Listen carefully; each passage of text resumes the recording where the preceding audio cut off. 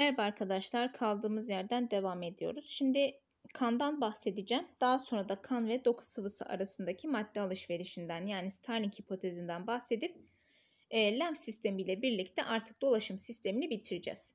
Şimdi bakalım kanımızın içerisinde neler var? Arkadaşlar kan santrifüj edildiği zaman yani ayrıştırıldığı zaman plazma ve hücre kısımlarından oluşuyor. %55'lik kısmı plazmadır, %45'lik kısmı da hücresel elemanlardır. Plazma kısmında neler vardır? Organik ve inorganik maddeler vardır. Mesela su vardır, iyonlar vardır arkadaşlar. Bunlar ozmotik dengeyi, pH'ı e, düzenlemeyi sağlıyorlar. Yine zarın geçirgenliğini düzenliyorlar. Yine plazma proteinleri vardır. Nedir bu proteinler? Albümin, fibrinojen, immunoglobin dediğimiz antikorlar, albumin globulin dediğimiz proteinler ozmotik denge ve pH'ı e, sağlıyorlar arkadaşlar. Dengelenmesini sağlıyorlar. Fibrinojen kanın pıhtılaşmasını sağlıyor. Antikorlar yani immunoglobinler de savunmayı sağlıyorlar. Burada fibrinojeni çıkardığımız zaman şu plazmanın geriye kalan kısmına biz serum diyoruz. Serum. Plaz fibrinojeni çıkardığımız zaman fibrinojeni şey pardon plazmanın geriye kalan kısmına biz serum diyoruz. Bizim işte o hastanelerde serum olarak yediğimiz aslında nedir? Tuzlu sudur. İçerisine ilaç falan katabiliyorlar ama ameliyatlarda kullanılan serumlar genellikle bu serumlardır. Ya da işte hastalıklarda çok ağır hastalıklarda kullanılan serumlar bunlardır. Hücresel elemanlara baktığımız zaman ise al yuvarlar, ak yuvarlar ve e, trombositler olarak 3 çeşit hücre vardır arkadaşlar. E, ilk önce ak yuvarlardan, lökositlerden bahsedelim. Bunların çeşitleri vardır. Nedir? Bazofil, lenfosit, eozinofil, nötrofil ve monosit dediğimiz çeşitleri vardır. Bunlar tabii ki savunmada görevlidir. Biraz sonra bahsedeceğim. E, temel görevi de zaten bunların savunmadır. Arkadaşlar 1 milimetre küp kanda yaklaşık 5000-10.000 tane ak yuvar bulunur. Trombositlere baktığımız zaman bunlar kanın pıhtılaşmasını sağlayan hücre parçacıklarıdır. Tam bir hücre değildir bunlar. Hücrelerden kopan sitoplazmik parçalardır. Bunlar da 1 mm küp kanda 250 bin 400 bin kadar sayısı değiştirilebiliyor. Eritrositler yani al yuvarlar ise oksijen ve karbondioksitin taşınmasını sağlayan e, hücrelerdir. İçerisinde hemoglobin dediğimiz bir protein bulunur. Bu protein sayesinde taşınmayı sağlıyor. 1 milimetre küp kanda yaklaşık 5-6 milyon kadar bulunuyor. Kan insanda değişik e, litrelerde bulunuyor. Yani şöyle söyleyeyim. Kadınlarda yaklaşık 4 litre, erkeklerde de yaklaşık 5 litre kan bulunuyor. Tabii ki sizin vücut büyüklüğünüze bağlı olarak da değişebilir. Şimdi ilk önce kan plazmasından bahsedelim. Arkadaşlar Kan plazmasından zaten şöyle bir hani söyledik. Kanın pH'i 7,4'tür. Eğer 7,4'ün üstüne çıkarsa ya da altına düşerse insanda ölüme kadar büyük sorunlara sebep olabiliyor. Yine içerisinde bulunan tuzlar kanın ozmotik dengesini sağlıyor. İşte plazma proteinleri pH değişikliklerine karşı tampon işlevi görüyor. Kan ve doku sıvısı arasındaki dengenin korunmasına yardımcı oluyorlar arkadaşlar plazma proteinleri. Mesela albumin ve globulin kanın ozmotik dengesini korurken dediğimiz gibi fibrinojen pıhtılaşmada görevlidir. İmmünoglobinler yani antikorlar da savunmada görev yapıyorlar. Yine e, plazmada başka maddeler de vardır. Mesela bazı besin maddeleri, metabolik atıklar, solunum gazları, hormonlar gibi maddeler de bulunuyor. Hücresel elemanlar bizim için önemlidir arkadaşlar. Hücresel eleman olarak iki çeşit hücremiz vardır. Nedir bunlar? Al yuvarlar ve ak yuvarlar. Bir de hücre parçacıkları vardır. Bu parçacıklarda kanın pıhtılaşmasını sağlayan kan pulcukları ya da diğer bir isimle platelet dediğimiz e, hücrelerdir. Trombosit dediğimiz yapılardır arkadaşlar. İlk önce eritrositlerden yani al yuvarlardan bahsedelim. Kanda en fazla bulunan hücrelerdir. Yaklaşık 5-6 milyon. 1 milimetre küp kanda yaklaşık 5-6 milyon bulunuyor. Bunun altında olduğu zaman kan sayımları yapılır mesela. Altında olduğu zaman anemi, kansızlık dediğimiz hastalık ortaya çıkabiliyor. Ana işlevi nedir? Oksijen taşımaktır arkadaşlar. E, içerisinde bulunan hemoglobin sayesinde ne yapıyor? Bunu taşıyor. Hemoglobin yapısında ne var? Demir vardır. Demir arkadaşlar bulunduğu için oksijenle okside olur ve kana kırmızı rengini verir hemoglobin maddesi. Ayrıca bir hemoglobin 4 tane de oksijeni bağlıyor.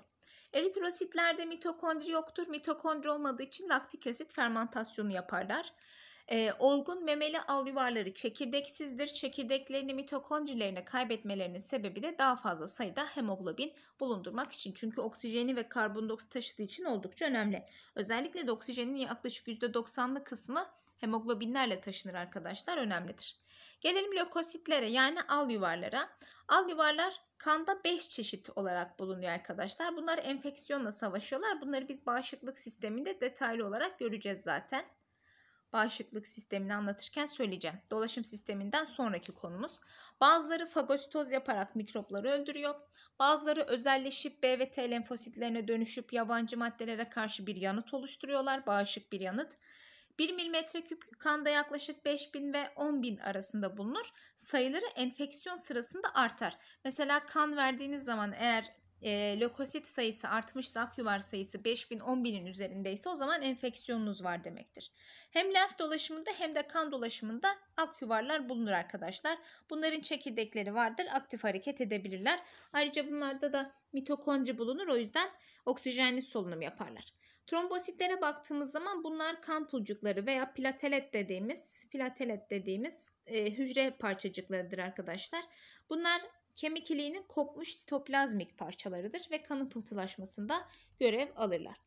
Kanın pıhtılaşmasını da anlatalım. Daha sonra da size Starling hipotezinden bahsedeyim.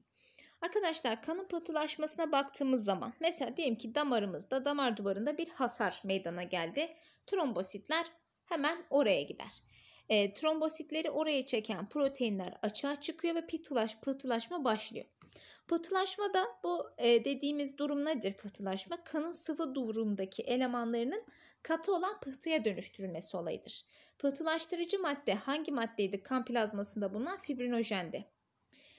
Bir damar hasar gördüğü zaman cevap olarak ilk önce kan pulcukları trombin oluşmasına yol açan bir pıhtılaşma faktörü salgılıyor. Trombin de arkadaşlar karaciğerde üretiliyor.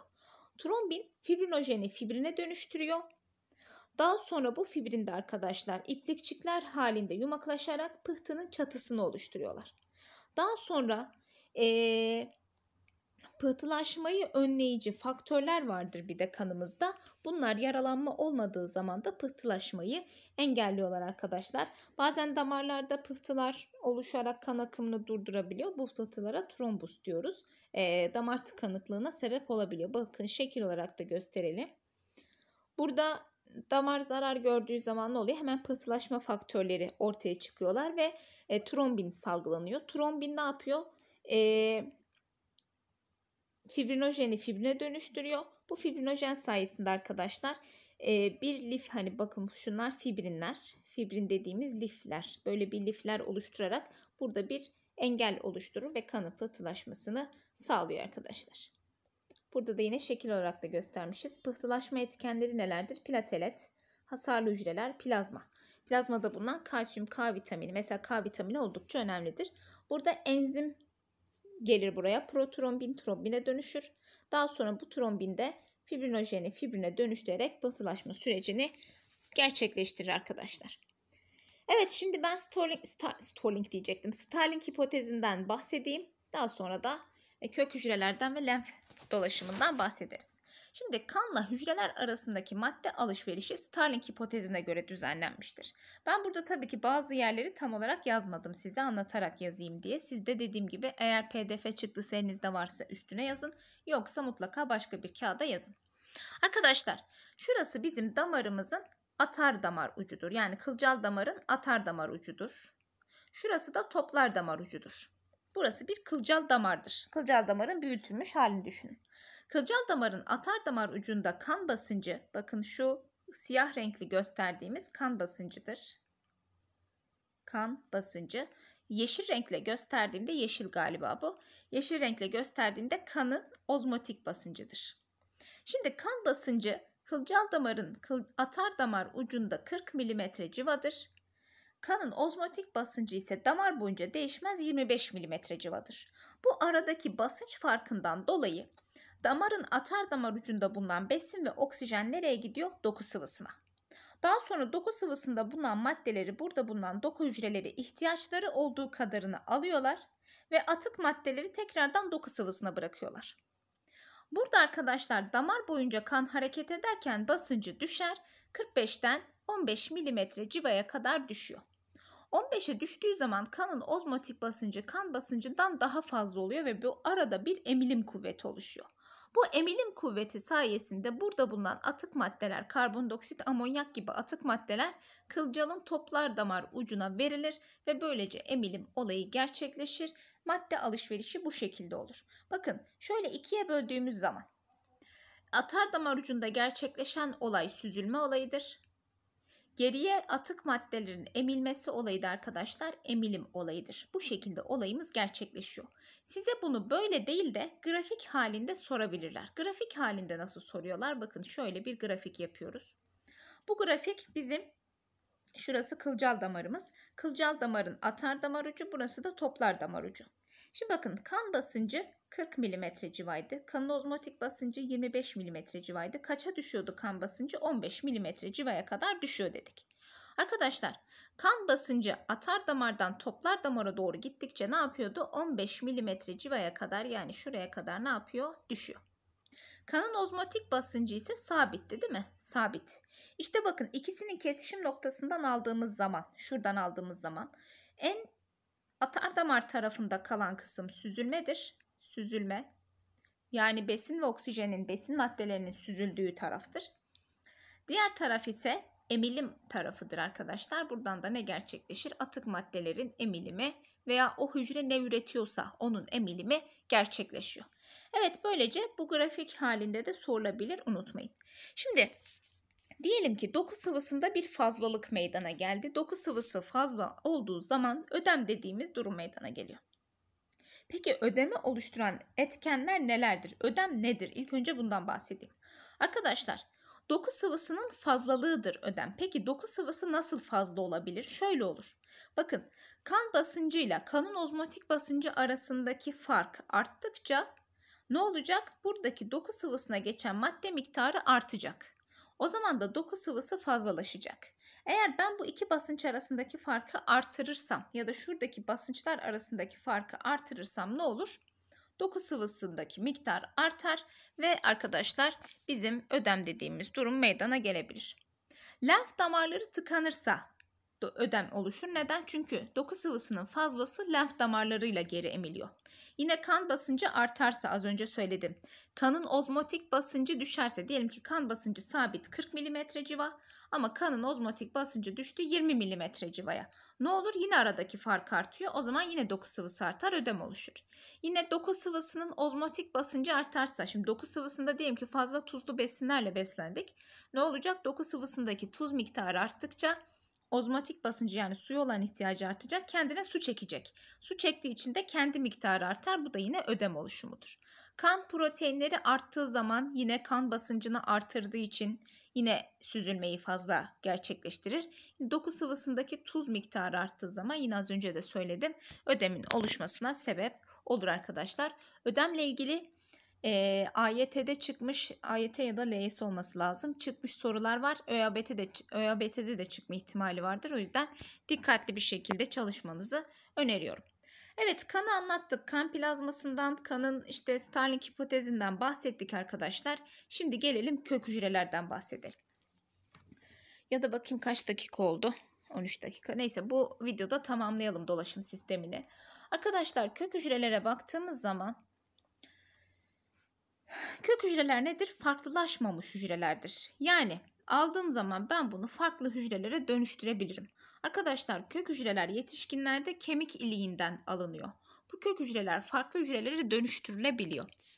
Biz e, kök hücreleri lenfoid kök hücreleri ve miyeloid kök hücreleri olarak ikiye ayırıyoruz. Lenfoid olan kök hücreler B ve T lenfositlerine dönüştürülür, savunmada görev yapar. Miyeloid kök hücreler ise al yuvarlara dönüşebilir. Nötrofil, bazofil, eozinofil, monosit ve platelet dediğimiz diğer hücrelere de dönüşebiliyorlar. Kök hücreleri özellikle arkadaşlar kaburgaların, omurganın, göğüs kemiğinin ve leğen kemiğinin kırmızı kemik iliğinde yer alıyor. O yüzden de zaten kök hücre tedavisi yapıldığı zaman ya da kemik iliği nakli yapıldığı zaman eğer nakil vermede aracı olursanız e, buralardan alınıyor kemik iliği. Ee, böylece kök hücre nakli de yapılmış olabiliyor. Yine bizlerden de kök hücre alınıp ilerleyen zamanlarda tabii ki yapılabilir ama çok pahalı bir işlem bu. Kök hücrelerimiz alınıp diyelim ki hasar görmüş organlarımız varsa bunlara dönüştürülüp e, üretim işte organ üretimi yapılıp bize tekrardan organ nakliyle organ nakli yoluyla aktarılabilir arkadaşlar. Kendi kök hücremiz olduğu için doku gibi bir durum olmaz. Ama dediğim gibi çok pahalı bir yöntemdir bu yöntem. Evet bir de eritropoietin hormonundan bahsetmek istiyorum. Bunu böbreklere geldiğimiz zaman da bahsedeceğiz. Arkadaşlar eritropoietin hormonu böbreklerde üretilen ve eritrosit yani al yuvar üretimini uyaran bir hormondur. Eğer dokular yeterince oksijen almazsa bu hormon üretiliyor ve yeteri kadar eritrosit uyarılmasını sağlayan, e, üretilmesini sağlayan bir hormondur. Bu hormon arkadaşlar oldukça e, yüksek hani çok fazla üretilmeye çalışan bir hormondur. Eğer kan dokularından işte kan dokularının kullanabileceğinden fazlaysa işte kan miktarı fazlaysa o zaman eritropoietin miktarı da az oluyor arkadaşlar. Gelelim lenf dolaşımına. Arkadaşlar lenf dolaşımında bilmeniz gereken temel şeyler vardır. Yani ben o temel şeylerden bahsetmek istiyorum. Bir kere lenf dolaşımı kan dolaşımından farklı bir dolaşımdır ve lenf dolaşımında kan, kalp gibi böyle dolaşım sıvısını, lenf sıvısını pompalayan bir organ yoktur. Lenf dolaşımında sadece toplar damar ve kılcal damar yok vardır. Atar damar yoktur arkadaşlar. Çünkü kalp gibi bir yapı bulunmadığı için atar damara da ihtiyaç yoktur. Bir uçları kapalıdır kılcal damarların. Atar damar olmadığı için bir uçları kapalıdır arkadaşlar. Lenf sisteminin görevi nedir? Diyelim ki yitir, doku sıvısının fazlasını ne yapıyor? Kan dolaşımına katıyor. Yine yitirilen sıvı varsa, protein varsa yine bunları kana karıştırıyor arkadaşlar. Dediğim gibi kılcal damarlarının bir ucu kapalıdır. Ee, sadece kılcal damarlardan ve toplar damarlardan oluşur. Lenf düğümü dediğimiz organları vardır arkadaşlar bunun. Bademcik, dalak gibi organlardır. Bu organlar ne yapıyor? Lenf sıvısını süzerek bakteri ve virüsleri yok eder ve böylece vücudun savunmasında rol oynar. Bademciğimiz, dalağımız bunun için önemlidir. Arkadaşlar lenf sisteminin görevlerinden bahsedelim. Doku sıvısını kana taşıyarak akışkanlığını düzenler. Viskosite dediğimiz akışkanlıktır. Lenfosit üretip kana verir ve bağışıklığı güçlendirir. E, lenfositlerin özellikle olgunlaşmasını da sağlıyor. Ak yuvarların olgunlaşmasını da sağlıyorlar. Bağırsaktan emilen yağ asidi, gliserol ve adek gibi vitaminlerin dolaşıma katılmasını, kan dolaşımına katılmasını sağlıyor. Sindirim sisteminde de söylemiştik hatırlarsanız. Lenf sıvısı yine hücrelerin zarlarını temizliyor arkadaşlar. Sonuçta doku sıvısıyla e, hemen hemen benzer özelliktedir. Lenf düğümlerinde lenf sıvısı filtre ediliyor ve mikroplardan arındırılıyor. O yüzden de vücut savunmasında oldukça önemlidir. Zaten bademcik, dalak bunların vücut savunmasında önemli olduğunu biliyoruz. Lenf sıvısının dolaşıma katılma yollarına bakalım kan dolaşımına. Şu birinci yolu ben size sindirim sisteminde anlatmıştım hatırlarsanız. Burada tekrardan üstünden geçelim. Birinci yolda bakın vücudumuzun sol tarafı bir de bacaklarımızdan gelen kan e, kan demiş pardon lenf sıvısı alınıyor arkadaşlar. İnce bağırsaktan emilen yağ asidi, gliserol ve vücudun alt tarafından toplanan lenf sıvısı. Kilus borularına geçiyor. Kilus borularından peke sarnıcına geçer. Burada da başın ve gövdenin sol yarısı ile sol koldan toplanan lenf sıvısı gelip buradan katılıyor. Buradan göğüs kanalına gider. Göğüs kanalından da nereye gidiyor? Sol köprücük altı toplar damarına gidiyor arkadaşlar. Buradan da üst ana toplar damardan kalbin sağ kulakçığına geliyor. Sonra bizim vücudumuzun sağ tarafındaki lenf sıvısı toplanıyor. Başın ve gövdenin sağ yarısından toplanan lenf, sağ koldan toplanan lenf. Bunlar büyük lenf damarına aktarılır. Sağ köprücük altı toplar damarına verilir. Oradan da üst ana toplar damardan kalbin sağ e, kulakçığına karışıyor. O zaman soldan gelen lenfle sağ taraftan gelen lenf ilk olarak nerede birbirine karışıyor? Üst ana toplar damarda birbirine karışıyor arkadaşlar. Burada birleşiyorlar. Evet lenf sistemini de anlatmış olduk. Ek olarak size organların iki tane organımızın damar bağlantısından bahsetmek istiyorum. Bu organlar önemli çünkü karaciğer ve böbrek sorulabiliyor. Arkadaşlar karaciğerin organ bağla damar bağlantılarına baktığımız zaman 3 tane damar bağlanıyordu değil mi karaciğere? Biri karaciğer atar damarı, biri karaciğer toplar damarı, karaciğerden çıkan damardır. Biri de sindirim kanalından gelen kapı toplar damarıdır. Şimdi açlık durumunda diyelim ki açız. Mesela oruç tutmuşuz. Oruç da geliyor yarın Allah'ın izniyle birinci günümüz Ramazan'ı. Şimdi açlık durumunda ne oluyor biliyor musunuz? Kapı toplar damarından karaciğere herhangi bir şekilde besin gelmiyor. Gelmediği için de kanda bulunan şeker seviyesi düşmüşse eğer karaciğer glukagon hormonu tarafından uyarılıyor ve karaciğer başlıyor depo ettiği glikojeni parçalamaya.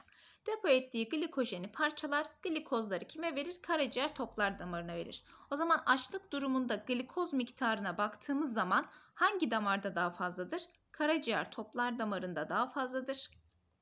Kapı toplar damarında daha azdır. Tokluk durumunda ise arkadaşlar, tokluk durumunda diyelim ki bol karbonhidratlı bir öğünden çıktık. Böyle makarna yedik, pilav yedik falan. Kapı toplar damarına sindirim kanalından fazla miktarda glikoz, işte yağ, pardon yağ buradan gelmez. Glikoz, amino asit gibi besinler geliyor. Yağ nereden taşınıyordu? Lenften taşınıyordu. Kapı toplara gelmiyor. Glikoz buradan geldi şimdi. Karaciğere gidiyor. Karaciğer bakıyor. Kandaki şeker miktarı fazla mı az mı? İnsülin hormonu geliyor uyarıyor. Diyor ki kandaki şeker miktarı fazla. İnsülin ne yaptı? Uyardı. O zaman karaciğer kendine gelen glikozu glikojen şeklinde depo eder arkadaşlar. Daha sonra da kirlenen kanı kapı top, karaciğer toplar damarına verir. O zaman tokluk durumunda hangisinde glikoz miktarı daha fazladır? Kapı toplar damarında glikoz miktarı karaciğer toplar damarından daha fazladır. Açlık tokluk durumu bu şekilde sorulabilir. Gelelim böbreklere. Şimdi böbrekteki damar bağlantılarımıza baktığımız zaman iki tane zaten damar bağlanıyor arkadaşlar böbreklere. Biri böbrek atar damarı, diğeri de böbrek toplar damarı.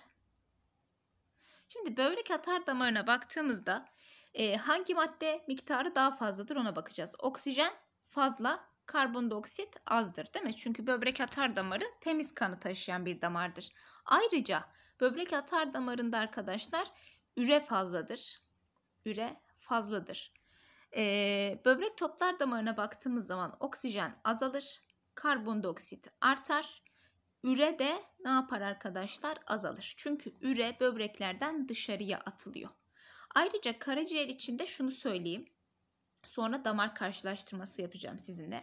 Karaciğer atar damarında şimdi oksijeni karbondioksiti katmadan şunu söylemek istiyorum. Arkadaşlar karaciğer atar damarında amonyak fazladır. Dur farklı bir renkle yazayım bunu da karışmasın. Şöyle amonyak yani NH3 fazladır.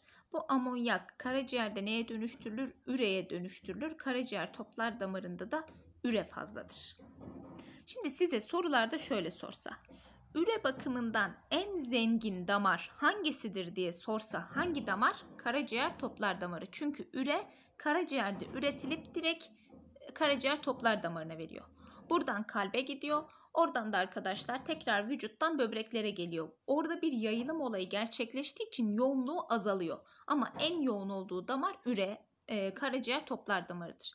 Üre yoğunluğunun en az olduğu damar hangisidir diye sorulursa üre böbreklerden dışarı atıldığı için böbrek toplar damarı üre yoğunluğunun en az olduğu damardır arkadaşlar.